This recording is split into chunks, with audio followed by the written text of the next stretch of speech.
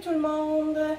So I'm coming to you today with something just a little bit different. I've had some really good and some really bad diamond painting experiences over the last couple years. Um, so I wanted to talk today about what the difference is between some good canvases and bad canvases, what are good drills versus bad drills? What are we looking for? What does quality in a diamond painting mean? So I'm going to go over some of the differences in these canvases you see here, as well as some of the drills that you see here. And I have what I think to be like a really good assembly of uh, the best to worst, basically. Okay, so what I'm going to start with is the canvas. I have right here one from Diamond Art Club, which is really considered the top of the top. Um, and it's poured glue. So is my bad example. Um, but it will show you why just simply having poured glue or the clear cover on top isn't enough to say that this is going to be a good quality. It's good glue, um, potentially, theoretically, but it doesn't mean that the painting or that the, the plotting is good. It doesn't mean that the quality of the symbols is good. So we'll show just, first of all, I'll show you a quick close-up. Okay, so what we can see is that the symbols are clear. You can tell the numbers and letters apart. I don't have a light pad or anything underneath. So what you're seeing is, is what you would get while you're working on it.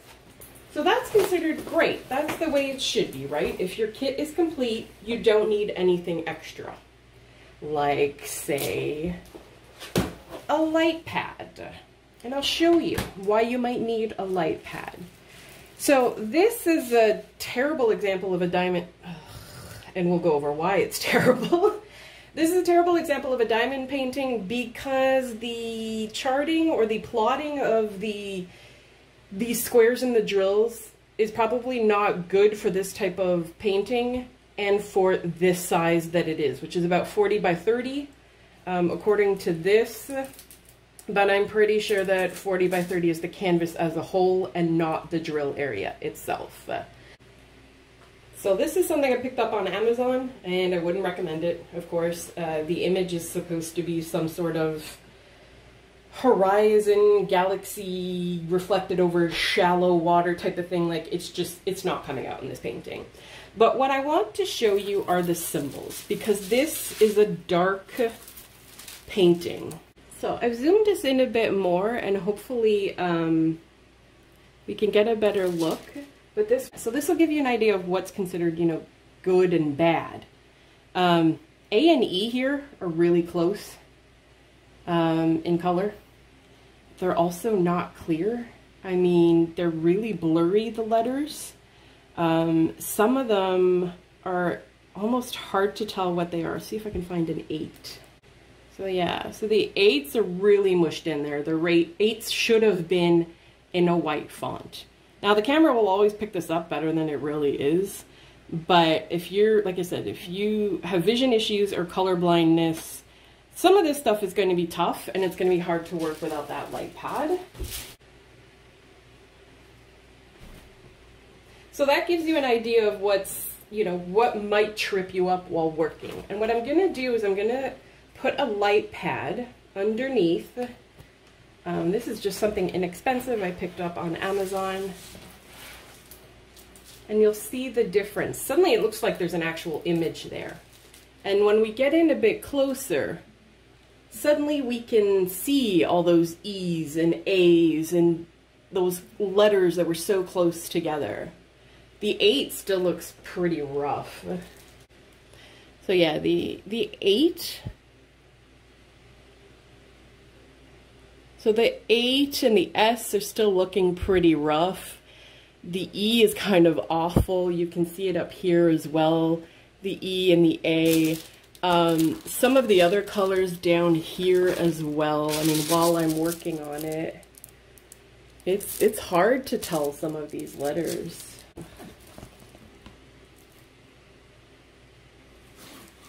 So, I mean, as we get in there, if you're, if you're colorblind, if you have vision issues, that some of these letters will be hard to tell apart. They're blurry, they're, you know, the colors are too close together, which I get they have to be because that's what the shading's going to be like, right? But that's not clear. And these are dark colors. So why is this one in white text and this one in black, right? This should also be in white. We can't read that.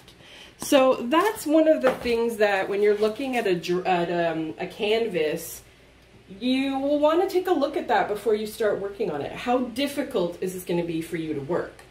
Now we saw Diamond Art Club very clear on the without a can, uh, light pad, but we'll throw one on there just for the sake of it so that you can see that with this as well. I mean, if you need it, if you're working in a dark area or the backlight is causing glare, you know, that can help too. But it's, I mean, it's something that's clearly not necessary. I would say that's the main difference between, say, a good can like a good canvas and a bad canvas. It's essentially the clarity of the symbols, how well do can you see them visibly, as well as how well do they compare and contrast the ones around it. If you are colorblind, will you be able to tell them apart? Um, and if you can't because of the color, then you definitely need that symbol, right? So I've zoomed this back in so we can take a look at the drills. And I've got three examples here. So these are the drills from a Diamond Art Club that I'm currently working on. So again, I would consider this top of the line, some of the best quality. This is the drills from the the Galaxy canvas I just showed you guys from Amazon. Um, that's no good. And these are from an absolute nightmare that I had. Uh, and you're going to find out why this was a complete nightmare once I show you. But we're going to save that for last. I'm going to keep you watching. So let's start with the best of the best. So dark colors are usually best, but I want you guys to be able to see them on camera. So I'm just going to choose this nice dark purple. Okay, so let's get intimate with some drills. So these are the Diamond Art Club. I've sprinkled um, a dark purple or darker purple. Um, black doesn't always show up great on camera, so I want you guys to be able to see the details. So, what do you see? Essentially, you see round drills. Ignore the mixed in colors. Well, that's likely my fault while working. But what you're seeing essentially is faceted pieces of plastic, right? So you move them around, the light reflects.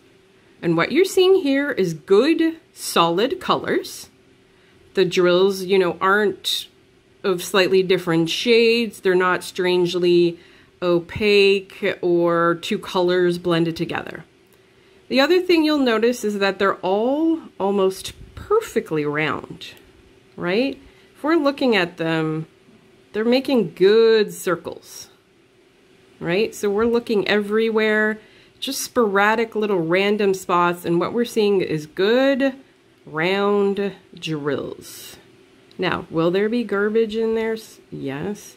Will there be bad drills in there? Yes. Like if I'm looking at the edge of this one, you can see it's kind of off. There's a slight little chunk missing there.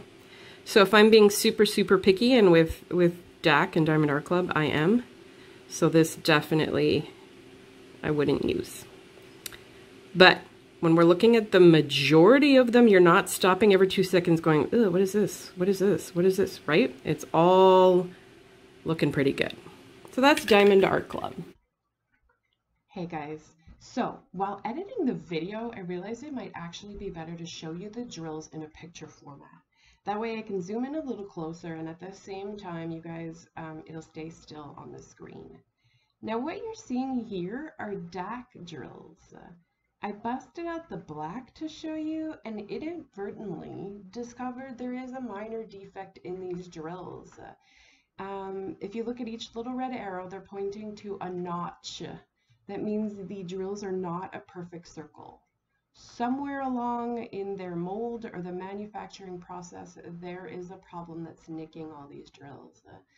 So I'm going to actually send this photo to Diamond Art Club. I understand that their customer service is really good and that they're quite receptive to feedback. So I think they're going to want to know this. And if anything, it just goes to show that even the pros, even the top qualities, sometimes have off days.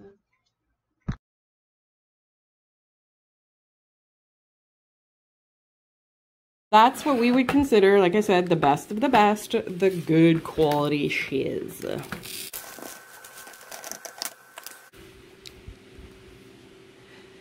So these drills are from the Amazon one, that ugly purple and I don't know what it is one.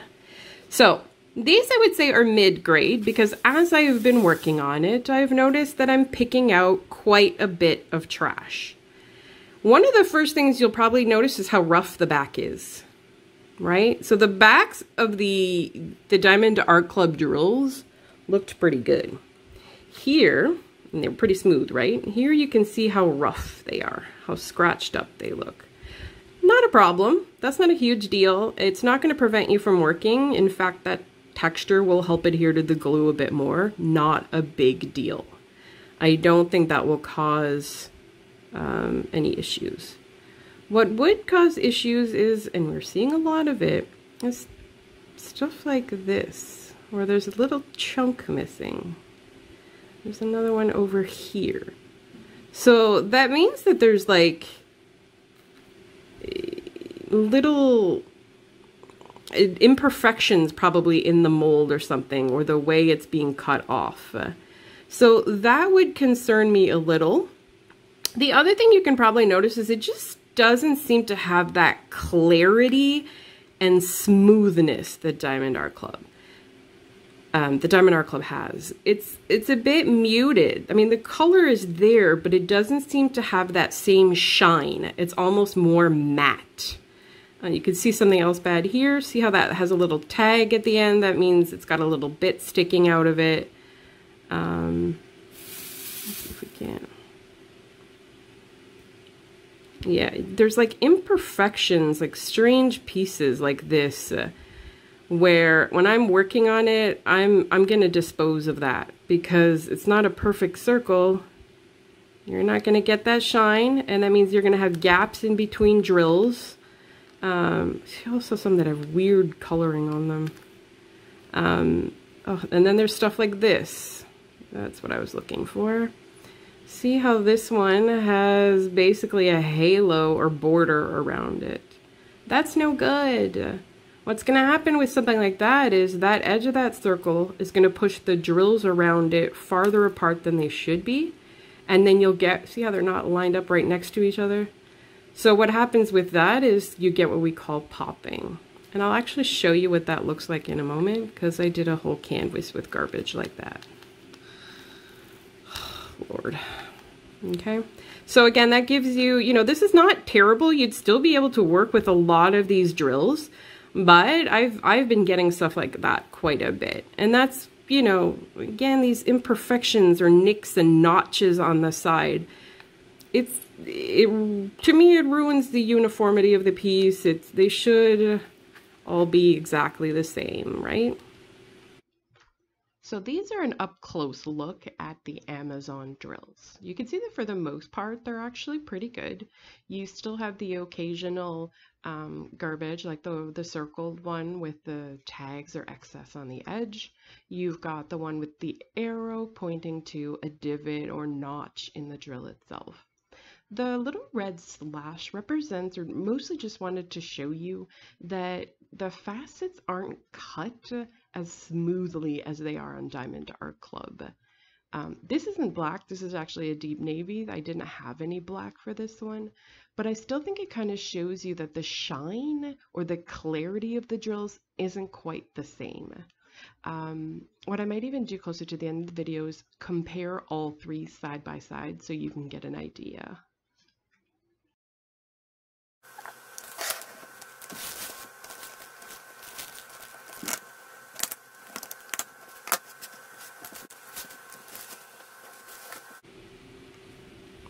And now let's take a look at the worst of the worst. Let's see what nightmare drills look like. I know you pros probably immediately went right to this one. So I'm going to show you what a nightmare canvas uh, or what nightmare drills will look like. So if we talk about the first thing we did last time, which was the backs of the drills, let's talk about how concave they are. That means that they're bending inwards. You can see that it is not flat, it's curved. It's curving like a bowl. And what does that mean? That means that this will not adhere to your canvas. The only thing that will adhere is the very edges of that drill because that's the only thing that's the same height. Everything else is deeper or recessed. It won't touch the canvas.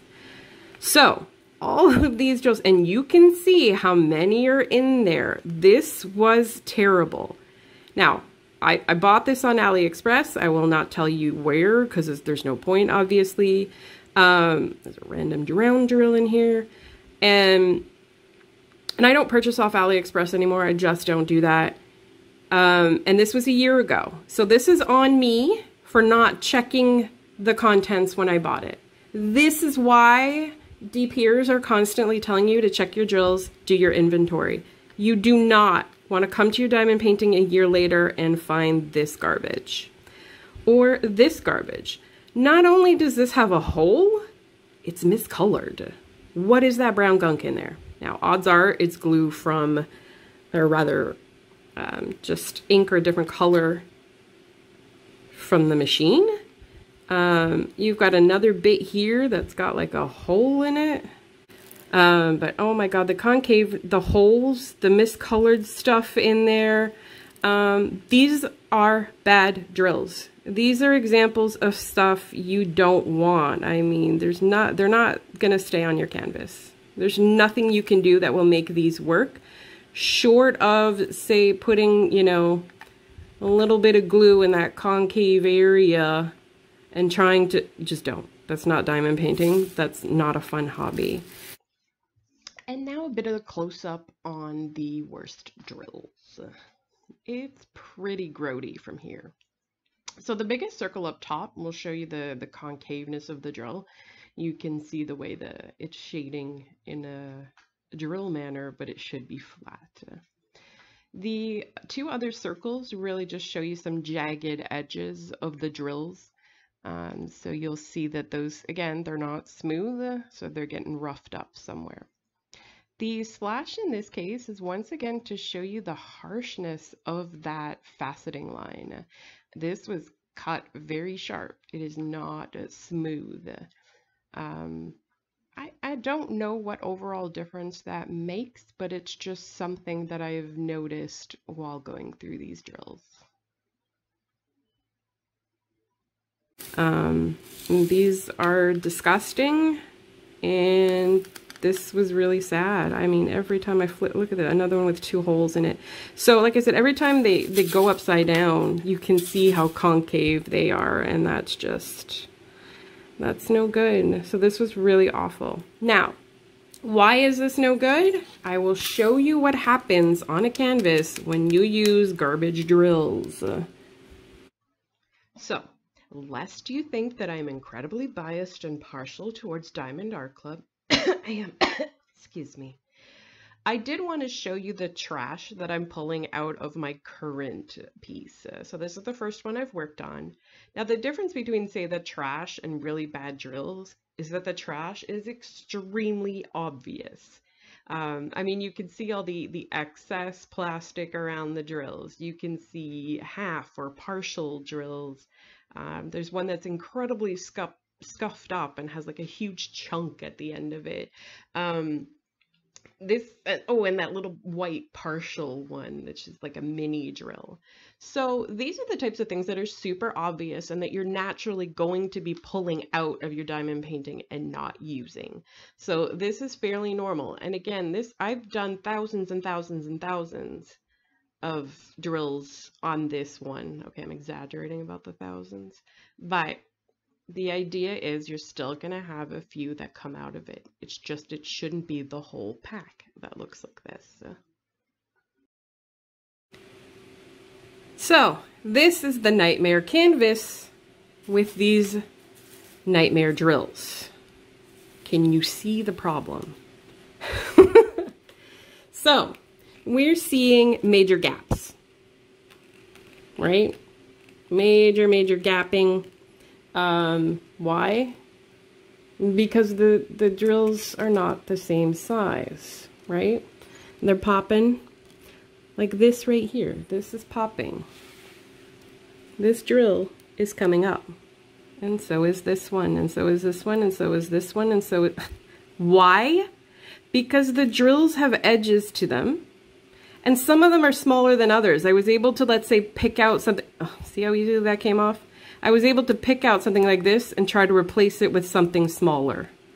And that's kind of what I was doing. And then I would go in, you know, trying to press it down. But what happens is, all you do is move the other one. So then you go to put that one down. Oop, and then it moves the other and the other and the other and the other. And the next, like, that's not worth it. That's not a fun hobby. And then you have stuff like that too, where that three just popped out. Like I, there are times where I was just doing, see, just doing that and I picked it up. That is a no-no. These should be sticking to your canvas. This, look at this. All, that's crap, crap, crap. So this canvas might have been good, maybe, but there's no way to know because, oh my God, you can see all the different levels. You can see. I mean, the image might have been absolutely gorgeous, and it is, but that's, that's not, it's not worth it.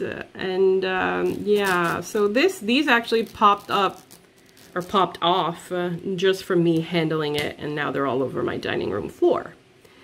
So yeah, so that again shows you why we are so critical of the drills. Why do we spend so much time, um, you know, trying to get the good stuff, trying to look at each and every drill we get and make sure that the quality is good because you don't want to be stuck working on something like this that could have been pretty, could have been beautiful, but instead is both gapping and popping.